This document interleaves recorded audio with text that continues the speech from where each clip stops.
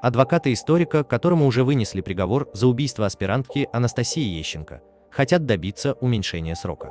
В частности, они выступают против лишения Олега Соколова свободы. Юрист Сергей Лукьянов заявил, что в жалобе он и Олег Соколов просят апелляционную инстанцию изменить наказание. Просим смягчить назначенное наказание по обоим преступлениям. Учесть в качестве смягчающих ряд обстоятельств, о чем я просил в ходе прения сторон. По 222 статье просим назначить наказание, не связанное с лишением свободы. Если бы Олег Валерьевич обвинялся только в незаконном хранении оружия, то при признании вины и активном способствовании расследованию этого преступления реальное наказание никогда бы не было назначено по судебной практике, заявил Лукьянов. По словам адвоката, представители историка еще не ознакомились с протоколами судебного заседания.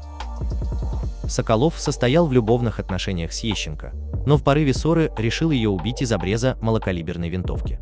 Это было совершено в состоянии полного умопомрачения. Я мог это сделать только доведенным до состояния абсолютной потери контроля над собой. Для меня это спонтанный, неконтролируемый, непредвиденный жест. Да, это я стрелял. Но я постоянно думаю об этом, мне чудовищно, у меня болит душа. Можно ли назвать это умышленным, тем более предумышленным поступком? Я не юрист. Это было деяние в состоянии полной потери контроля над собой.